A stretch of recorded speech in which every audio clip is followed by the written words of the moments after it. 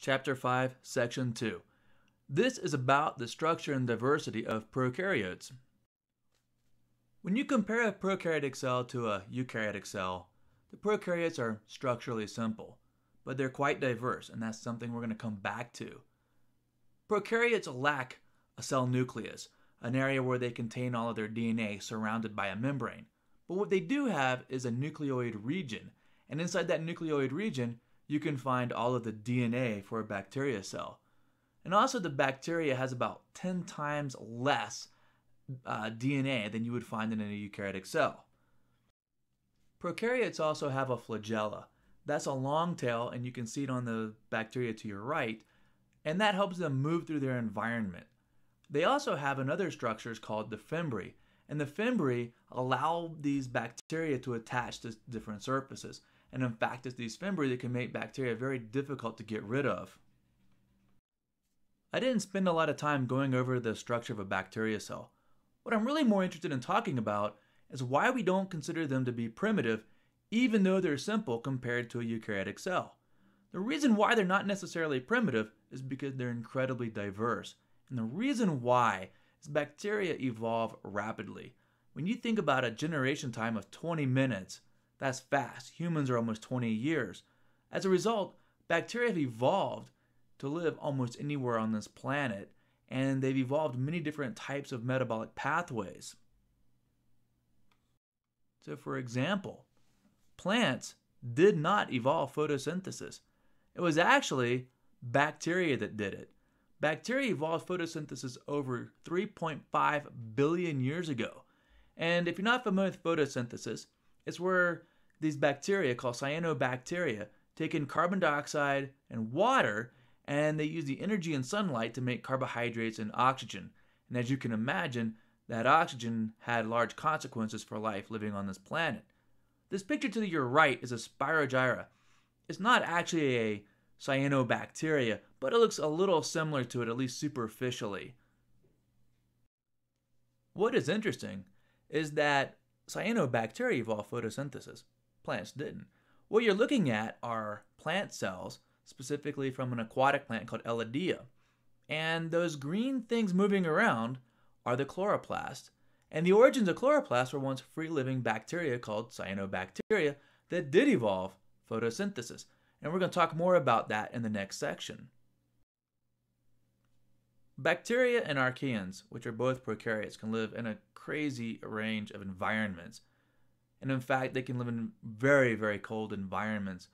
And uh, about 20 years ago, scientists went down to Antarctica and they were looking at the rocks down there and they discovered bacteria living in the rocks, literally gaining their electrons from the minerals inside the rock. That's astounding. These bacteria, we don't even know how long they could live, but they may live for hundreds or thousands of years, and some people have speculated even longer than that. So when we talk about things living in extreme environments, we call them extremophiles. And this is an example of a very cold environment, and on Earth, we have bacteria living there. At the other end of extreme, prokaryotes can live in very hot environments. In the 1970s, they thought that you wouldn't find life living in much more than 130, 140 degree water. Well, they were wrong. They found Thermus aquaticus living in Yellowstone at over 160 degrees. And we've been to hot vents down in the bottom of the ocean where we found bacteria and archaea, two types of prokaryotes, living in water that's over 200 degrees Fahrenheit, 100 degrees Celsius. That's almost hot enough to boil water in. Bacteria can also live in very acidic environments as well, things with a very low pH. We're talking pH of 1 or 2. Guess what? There are bacteria that can live there. And in fact, many of you may remember when the Animas River got polluted last year and it turned a bright orange. That was from acid mine drainage.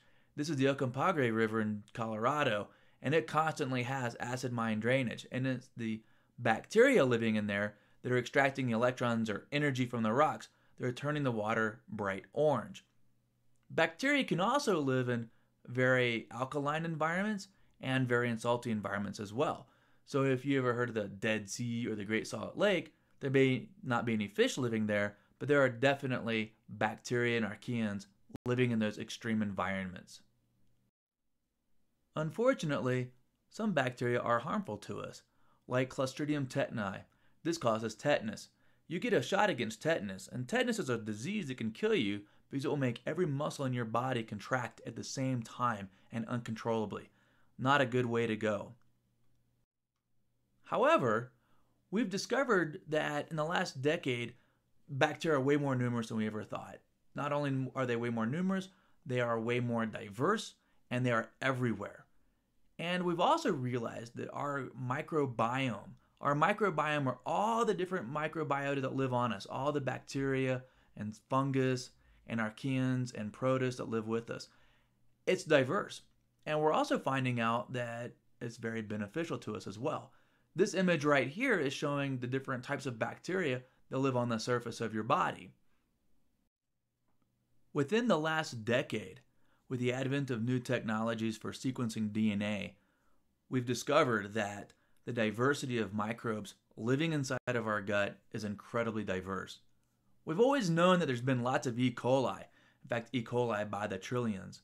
But now that we can sequence DNA in very small amounts, we've discovered that the average person has perhaps up to a thousand different types of bacteria living in their gut.